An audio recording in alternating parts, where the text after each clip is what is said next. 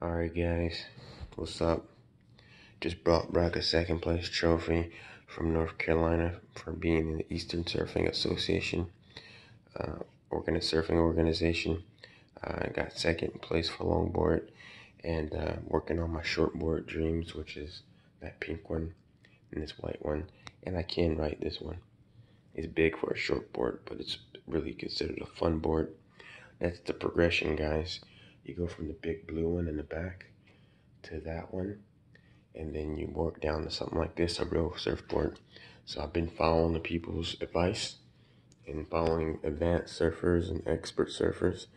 You start with a soft top and then you hear that that's a real surfboard. You hear the difference? Anyway um, I'm still going to use soft tops because if it's not a good surf day, the waves suck, you can still use them.